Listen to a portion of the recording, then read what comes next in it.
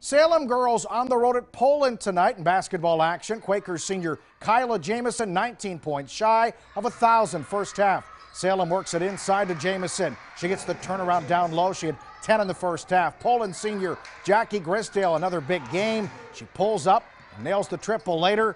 Check out this play from Grisdale, keeping the dribble drive, spin move in the basket and the foul. Grisdale with a team high 14. Here comes Salem in the second half, catching fire from deep. Casey Johnson from the corner. She had eight. Then later it is Annie Davidson from the top of the key. Just like that, Salem takes the lead. Minutes left. Here's the big moment for Jamison. One point away. She gets the bucket to go, surpassing 1,000 career points. She had 20 on the night to lead all scorers. Salem holds on for the win 46 41 on a history making night for Kyla Jamison. This is one of the best games I've ever had. I mean, to get to experience this with my team, you know, I love them so much, and I wouldn't want to do it with anyone else on the court. And you know, they were excited for me, but I was like, guys, we're still in the game. We got to get through this, and we got to secure the win. And you know, it just happened, and I'm I'm really blessed to play with the team that I do. It's been an awesome night, and you know, Kylie knew that she needed 19 points going into this game.